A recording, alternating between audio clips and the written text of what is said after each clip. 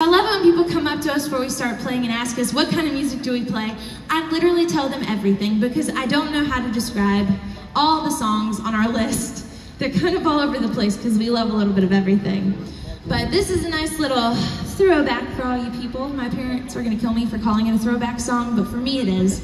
And uh, if you know it, sing along.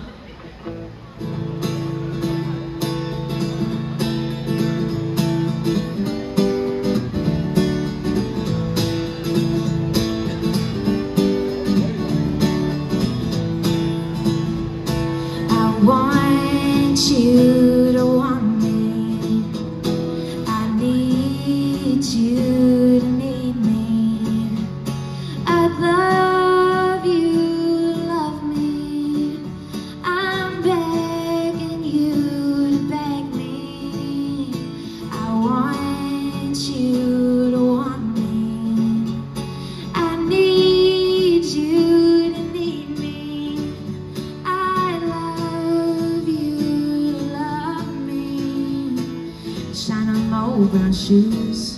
Put on a brand new shirt.